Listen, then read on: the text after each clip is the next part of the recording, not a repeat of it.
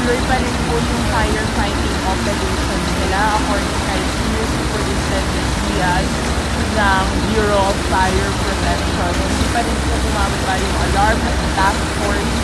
Bravo pa rin po tayo. Tapos kung makikita po natin dito sa bandang kanan, so na yan ay gumagaling sa 7th or 8th floor po ng hotel.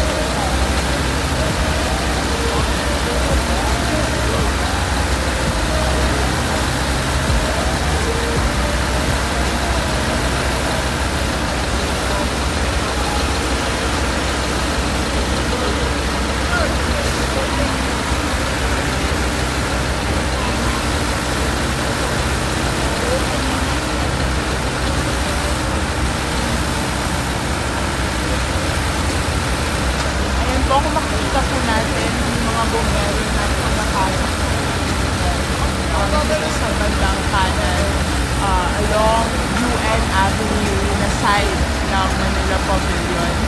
And uh, according po sa mga nakausap namin na bumbero kanina, uh, napasok na po nila yung ibang area sa hotel pero uh, isang challenge din sa kanila ay yung confined na spaces at tuloy-tuloy pa rin po yung firefighting operations.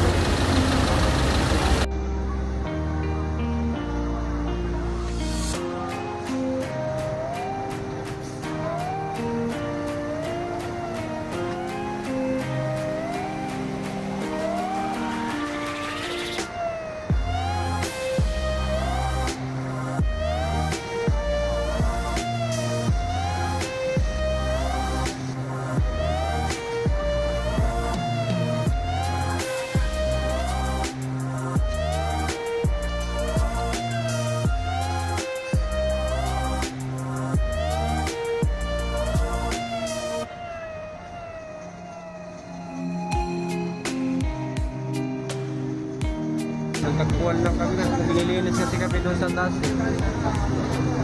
O, kumusta na yung makasamahan mo at ikaw? Okay naman. Naka ano rin.